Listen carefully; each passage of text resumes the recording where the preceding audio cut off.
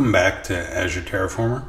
Today we're going to continue our journey with Key Vault and we're going to hook it up to our observability stack um, using a diagnostic setting. So without further ado, let's get going. So any, uh, most resources in Azure uh, support what's called an Azure Monitor diagnostic setting. And you can tell immediately if that resource supports it because there's a section here called monitoring and diagnostic settings. And this is a very helpful place to go when you're looking to set up diagnostic settings for the first time because um, each resource has different categories of logs and metrics. Of course, metrics usually is all metrics, um, uh, sometimes it's not always that. But but this this screen basically is shows you the structure of what the diagnostic setting is. Uh, diagnostic setting is designed to attach to a any resource in Azure um, to select what logs and what metrics from that resource that that resource supports that you want to extract and to specify one or more destinations that you want to dump those uh, resources, being those logs or metrics. Um, and the, the three that are supported natively are Log Analytics Workspace, um, Storage Account, and Event Hub. Now, Log Analytics Workspace has, and we'll look at this in a little bit, but it has a really nice uh, queryability interface where you can go in and type SQL like queries on your logs. Um, Azure Storage Account, it, it has no query capabilities built in. Like it, it's literally just dumping flat files into, the, into your storage account. Um, so it's not super useful, but from like if, if all you're looking for is like a governance you know ch- checkbox to check off, then storage account's a great way to go, and it's super cheap. Um, I usually go with log analytics for short term, you know, maybe 30 to 90 days of logs, um, so that you know operators have a chance to go in and look and find things and look look under rocks and stuff like that, using the user experience of log analytics. Um, but then dump everything into storage account for a year or two years um, and you know for basically for long term or cold storage. Um, another another option is this Event Hub, and that basically is going to be a very flexible way for you to send these logs or metrics anywhere you want. Uh, because Event Hub is an Azure service where there's a stream of, of, of events that are going across it. Um, and it's basically like a fan out mechanism where you can add a whole bunch of subscribers that listen to that event hub and do whatever you want with it. So um, some of the uh, some of some of the third party tools that you might use, um, like Prometheus or Grafana, you know that that stack would attach to like an event hub. Um, and you would you would use an event hub adapter that would pull that stuff and dump it into into that um, logging uh, aggregation stack. Um, partner solutions, these are third party partners that, um, that, that publish their wares out there um, so that you can attach them directly. I've, uh, I've never actually used these, but um, if you have, uh, let me know in the comments and let me know which one you like the most. Um, if you have used one of these options, which do you prefer? Do you like log analytics um, or do you prefer to use Event Hub and dump it into some open source solution? Let me know in the comments below. Anyways, uh, the resource that we need to provision using Terraform is called a diagnostic setting. So the Azure RM monitor, Azure monitor diagnostic setting. And basically the structure of this setting, we've looked at this before on this account, but um, you basically pass it in a target resource ID. Now this is a fully qualified resource ID path um, to any resource that supports this in Azure. And then you can add different destinations, storage account, log analytics, whatever. Um, but then the diagnostic setting uses these log blocks and metric blocks in order to um, specify, I guess, what we are looking at earlier audit logs, Azure, if in the case of Key Vault, audit logs, Azure policy evaluation details, and then all metrics. So these two right here, audit logs and Azure policy evaluation details, would show up in as corresponding to a single log block. And then the all metrics would show up as corresponding to a single uh, block there. Now, a, a helpful tip, and this is this is common when you're working with Terraform and Azure all over the place. Um, sometimes the, the the GUI is not the best way to figure out what needs to get plugged into Terraform. Um, so what I would what I would recommend is um, I would I would recommend you know using this JSON view where it will show you what is gonna is gonna get outputted in an in an ARM template.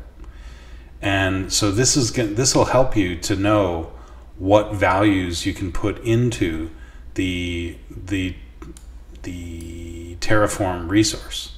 So we, if we look at this side by side, we see that we've got a category attribute here on the log block. Now if we if we go down and we look at the log block,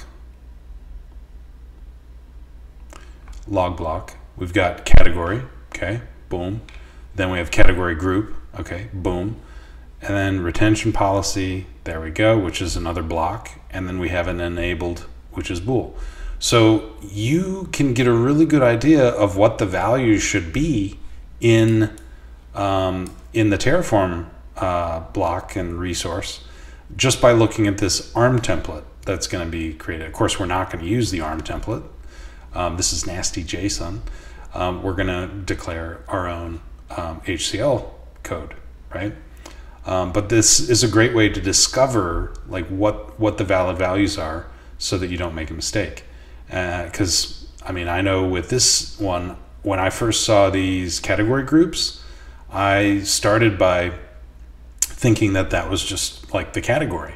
Um, but uh, but really, uh, and so I tried to put in audit into the category. It didn't work.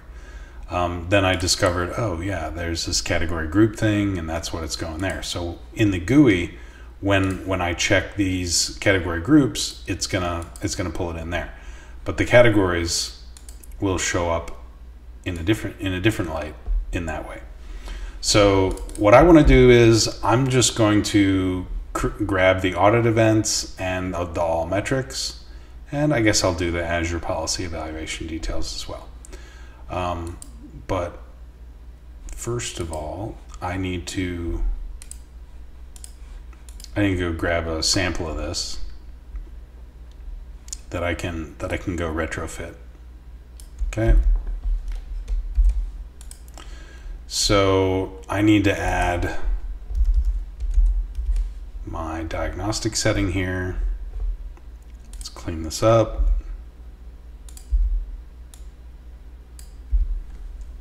key vault. And we'll just call this the same name. I guess we can grab it from the resource main.name. And we're going to grab the key. Oh, the example is actually using the key vault. Uh, interesting. That's pretty lucky. So now we need a storage account, var storage so, store. Remember what I said? Like the IDs are notoriously bad to look them up. So, we are not going to pass in a variable for the storage account ID. Nope, not going to happen. Um, what we're going to do is we are going to we're going to look up the storage account ID using a data source. Okay, so just bear with me. Uh, let's go find storage account. and we'll do a data source storage account. Bada bing, bada boom. All right. Now, if I go to, what am I looking for here? There we go. So when I go, the observer, the observability resource group for dev is what I want to go look at. So I want to use my storage account here. I think it's West US. So I'm going to grab that the storage account name is going to be this, and the resource group is going to be that. So there we go. And I'm going to clean this up a little bit and we'll just call this, uh, what should we call this? Observability. Yeah, there we go. Storage account observability. And so here we go, that's a data reference. So we got to do that and we go observability and then we do ID. Bingo. And this, this is fine. Yeah, we, we can leave this the way it is. Now I can also add a log for, what was that little guy? The Azure policy evaluation details. We'll throw that in there too. And we want to enable these. Like, why, why would we not want to enable these? It just doesn't make sense to me. Like, why, why you would, oops, why would you would set those to be um, disabled. Okay, so, okay, we, I, I think we have this all set up. Um, we are pointing it at the key vault. Um, we're using the Key Vault ID. We're pointing it at a storage account, and now and we we need to point it at the um, Log Analytics workspace. So let's go look. Let's go look at that. I got to go back. Oop, went too far. Here we go. So Log Analytics workspace ID.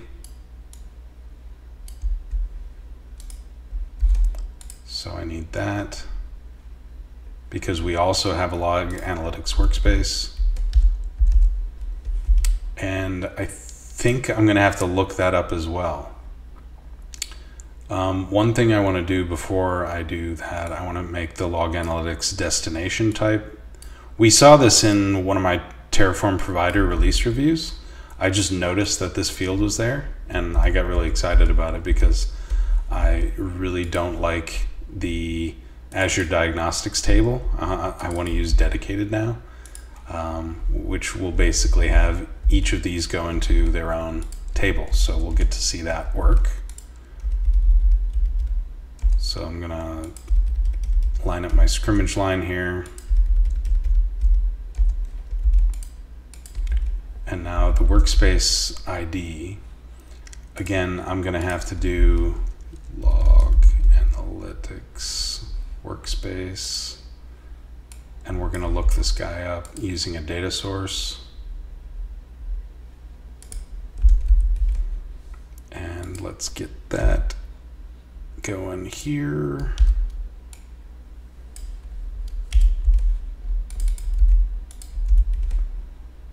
Okay so and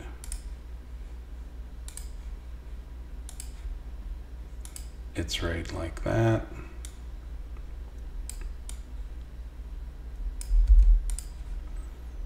So the name of it is this, and the resource group is also going to be the same.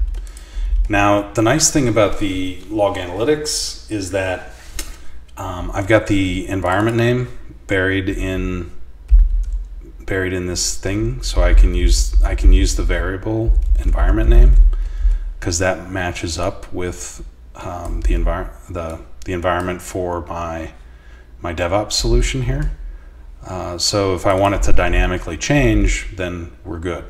Now the tricky bit is with this uh, with this value here. So I'm going to have to pass in the storage account name as a variable, unfortunately. So we'll call this observability storage account. And in dev, it's going to be one value.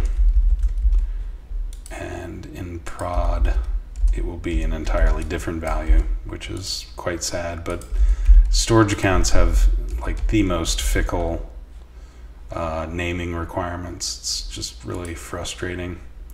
Um, this is the one for dev. And let me just go peek at prod. And this is West US. Now, I, sh I should probably use a lookup, but because this is a variable, um, you know, I'm, I'm, I'm, I think it's acceptable that the the original author is aware of what region that they're deploying to, and they select the correct region storage account. Um, so that I think that's an acceptable compromise for our, observ- our observability storage account. So again, uh, log log analytics we don't have to change. Um, we per, per region it's it's going to be the same one no matter what observability, but the storage account we have we have to change per region, um, unfortunately. Okay, so there we go. There we go.